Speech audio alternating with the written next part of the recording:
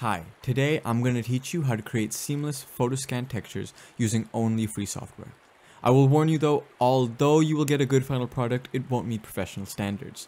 This is because we'll be using primarily Blender and Meshroom to create these textures, and both software are not truly optimized for a texture creation pipeline. Still, the products are good enough for personal use and you will be able to put them in any scene you want. I will also make sure to clearly explain everything I do in Blender because I know not everyone uses Blender and this is a method I think would be useful for any 3D artist across any platform. In fact, if you have enough expertise in your own software, you might be able to do a lot of this process in there. Another warning, this method produces tiny artifacts in certain textures, which is another reason it's not super suitable for commercial use. Additionally, since we are only using free software, this method will only work with textures that are very cluttered. Things like tiles are difficult because we cannot use the clone stamp tool on multiple layers of a texture at the same time. If you are able to get maybe a student license for a software like Substance Designer, you actually can then start to use uh, clone stamp tools on multiple layers. But since that isn't technically free, I've chosen not to include that in this, and instead we'll be using GIMP to make things seamless. The way GIMP makes things seamless is by merging the two images by slowly fading them into each other, so it works really well for things like leaves or dirt. We're going to use Blender, GIMP Meshroom, and Darktable to make five texture maps, a color map, a height map, a normal map, a roughness map, and an ambient occlusion map. You'll also need a camera of some kind. I'm going to use a Canon 6D, but anything should work. If you are using a smartphone, make sure to install software that lets you shoot in manual. Now let's get started with the setup. Professional PBR material photographers often use two things that are optional. They have something called a Macbeth color chart and they have rulers. The Macbeth color chart is used in raw image editing software to make sure that the image has been properly white balanced and that colors are consistent with other textures an artist may create. The rulers, commonly 2 meters by 2 meters, are to make sure that people know the scale of textures. This is obviously critical when making textures that are to be used professionally so that people know the scale and so that people can also tell the colors are correct. If you're making these textures just for yourself, then really you don't need a Macbeth color chart, and that's why I don't have one. Still, I used a piece of white paper just to white balance the image, and it's worked pretty well. Of course, it's a little bit jank, but all of this is a little bit jank. I also use four yardsticks just because it helps me visualize everything, and unfortunately I do not own 4 meter sticks. Often I like to shoot later in the evening just before sunset or on an overcast day. This is because we want to make sure there are very soft shadows on the terrain you want to photograph. This makes sure that there's very little ambient occlusion on the color map we make, and so that when we apply lights later on in our scenes, there aren't weird artifacts or like extra shadows appearing in certain areas. As you can see, today is kind of the ideal conditions. Um, it's really cloudy, and since it's like 12-ish, there's a lot of light um, and so that's why it's a little better to film today rather than in the evening on like summer.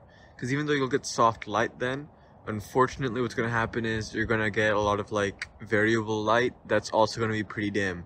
So you're going to have to make sure that you have, uh, have a really, really uh, slow exposure. Um, unfortunately, it did recently rain.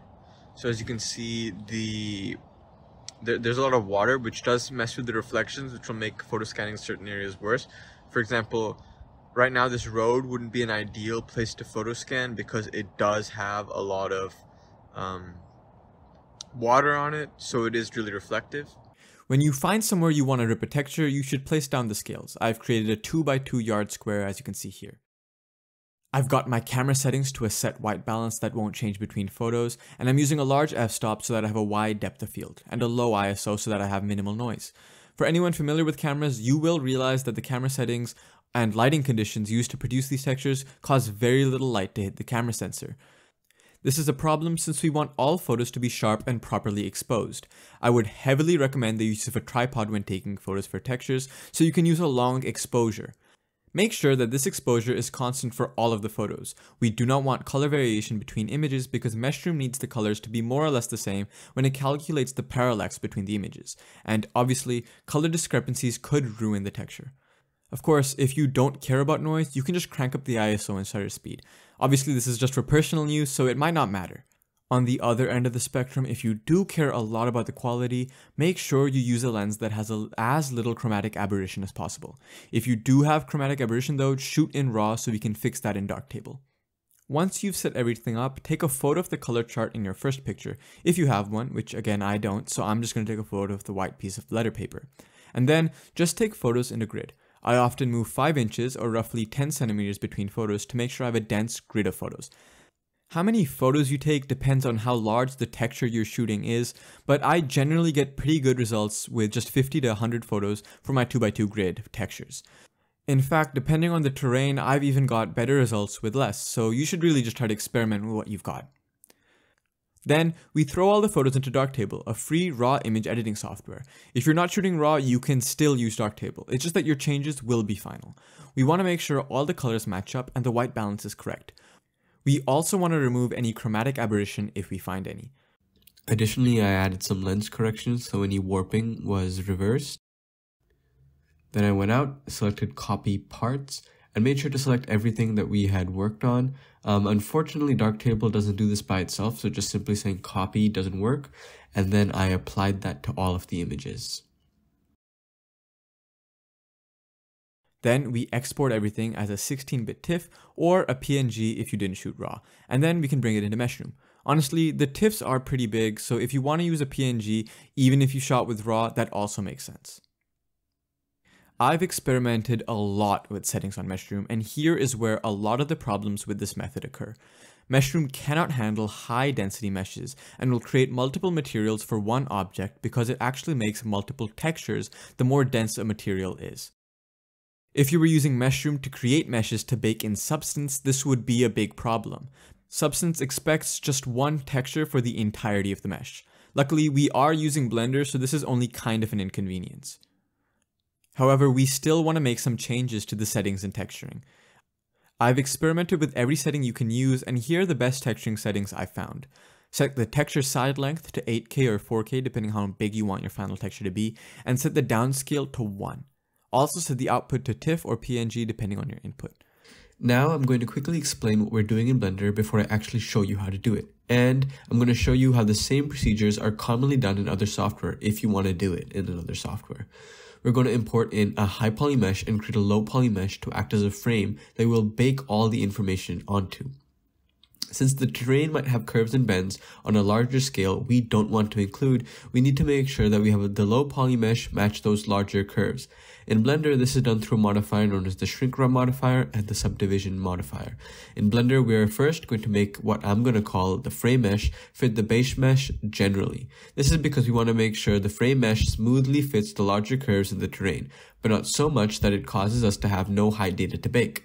In other software, you would then use this frame to calculate all the maps by shooting out rays from the frame. But in Blender, we use the multi-resolution modifier to fit the geometry of the frame mesh to the base mesh, and then Blender calculates the displacement and normal maps. Now let's finally actually get things started. Once everything is done, we need to make sure Blender can import our files. Go into Edit, Preferences, and then Add-ons, and make sure you have Import OBJs enabled. You should also make sure that you have the Node Wrangler add-on enabled since it's generally very useful for Blender and it's sort of an ease of life thing. Once you've enabled the plugin, you need to import a file labeled texturedmesh.obj in the texturing folder of the output folder Meshroom created wherever you saved your Meshroom project. One of the many pitfalls of using Blender for this is that often Blender, at least on my computer, gets clogged up and if you look on top, it'll say not responding. Um, usually this is just because Blender is doing, I don't know why it says not responding, but basically the way to check if Blender really is actually working is by going into the task manager and looking at whether the CPU or, or the memory and RAM are actually doing anything. Uh, and if they are, usually that just means you have to be a little patient. First, I clean up the import. I delete any floating geometry by going into edit mode, selecting the main part of the model I want by pressing L, and then inverting my selection by pr pressing Ctrl I. I then delete any floating or rogue geometry with X. Then I rotate the object into place and use the box select tool to make a rough selection of the portion of the model I want to use for the bake. I again press Ctrl I and delete the excess geometry. We can now go into look dev mode or material preview mode to check our model and look at the textures that appear. What we're now going to do is produce a low poly plane that will be used to bake the textures onto. It'll bake the normal map, albedo map, displacement map, and ambient occlusion map. Unfortunately, we will have to fake the roughness map later since we have no data for this in the mesh or existing textures, but the normal albedo and AO maps will help us do this. I add a plane, bring it up, press numpad 7, and then line it up and scale it down where I want it. Now I have to match the geometry of the high poly base mesh a little bit, since the surface is a little bit uneven. I go into edit mode, select all the edges, press shift E and type in 1. This marks a crease on all the edges so that when we subdivide the plane it remains a square. And then I'm going to go into the uh, modifier stack and add a subdivision node and a shrink wrap modifier, just so that it matches the general shape of the terrain before we make sure that we use the multi-resolution modifier. So what you're going to see is that the edges are going to be a little bit jagged and, and we will need to fix this or else when we try to apply the texture onto another object, there will be distortions. So what we're going to need to do is going to change the wrap method to project and then the uh, and then select negative. You're also going to need to make sure that the target is the targeted mesh, uh, just so that it'll follow that curve. I then go to the modifiers tab and add a multi-resolution modifier and a shrink wrap modifier. In the shrink wrap modifier, I select the base mesh as the target, and I also set the wrap method to project and select negative. In the multi-resolution modifier, press subdivide a couple times, then set the viewport and render to something that's more manageable so that your viewport isn't as laggy. Apply the shrink wrap modifier with Control A in object mode, and then drag the projected mesh up until you can't see the mesh below it.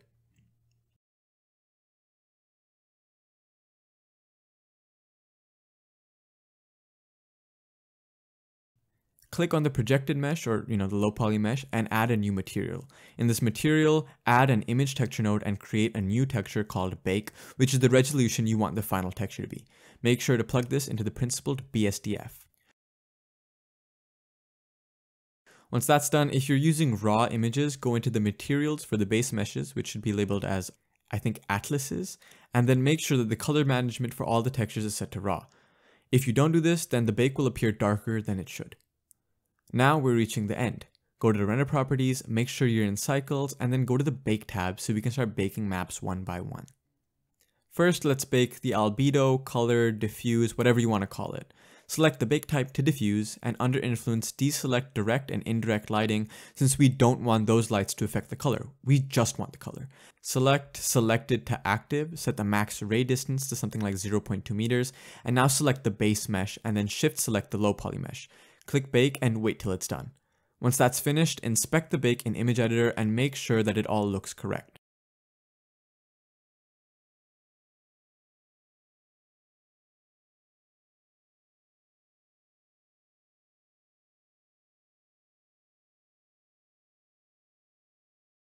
Then save the file as a 16-bit RGBA TIFF or as a PNG. Now let's do the ambient occlusion. Select the bake type as ambient occlusion, select the base mesh, and then shift select the low poly mesh. Click bake and wait till it's done. Once that's finished, inspect the bake in the image editor and make sure all of it looks correct. Then save the image as a 16-bit RGBA TIFF or as a PNG. Now let's move on to the normal map. For the normal map and displacement map, we'll be using bake from multi-res. Select bake from multi-res and then use the bake type normals. Now just select the projected mesh, the mesh that we have a multi-resolution modifier in, and press bake. Once that's finished, inspect the bake in image editor and make sure it all looks correct. Then save the image as a 16-bit RGBA TIFF, blah, blah, blah, blah, blah. Now let's finish the baking off with the displacement. Select the bake type as displacement and select the projected mesh again. Wait for the bake to finish and look at the output. Once that's finished, inspect the bake in the image editor and make sure it all looks correct. Then save the image as a 16-bit RGBA TIFF or as a PNG. Now that you have a normal map, an AO map, and an albedo map, we can create the roughness map. For now, unplug the bake texture node and set it to the side. Add the textures you created, but don't plug them into anything yet. Now add a color ramp and plug the albedo into it. In the real world, often lighter objects are shinier than darker objects, and we're going to use this to fake roughness. Using a trick I picked up from Grzegorz Baran, who's a really good YouTuber. If you like this texturing tutorial, you should watch his. His are much more professional than mine, and he uses a lot more interesting tricks. Uh, unfortunately, a lot of his uh, software is paid, but you know, it, it'll teach you a lot. Uh, anyway, back to the trick we can multiply the fake roughness by the blue channel of the normal map and the AO to try and make sure that the roughness maps have more detail. This is because deeper parts of objects, you know, crevices, are often more diffused when they're textured, and the blue channel correlates to the Z, and the AO um, is really just the crevices of a texture.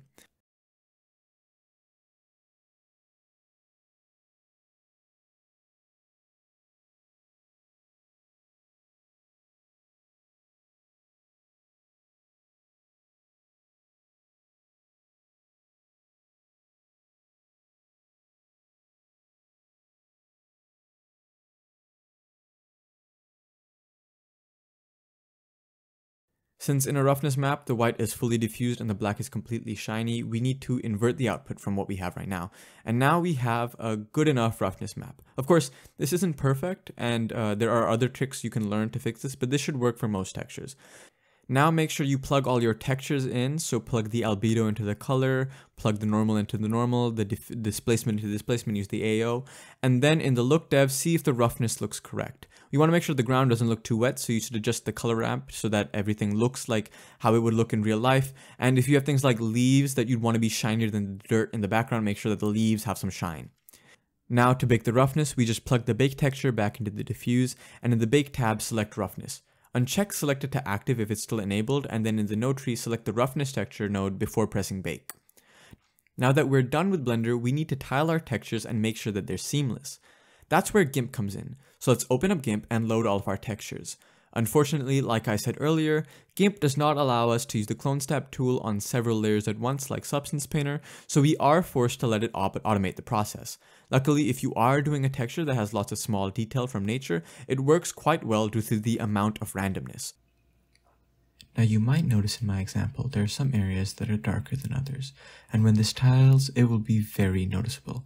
Luckily, there is a way to equalize or homogenize the brightness of a texture in GIMP. First, take the albedo texture we created and create a duplicate of it. Then go to Filter, Blur, Gaussian Blur, and set it to something between 20 to 40 pixels. Then go to Color Invert, Colors Desaturate, and finally set the blend mode to Overlay. This does a pretty good job equalizing the colors and makes sure that the texture looks better when it's tiled. Once that's done, all you have to do is actually tile it.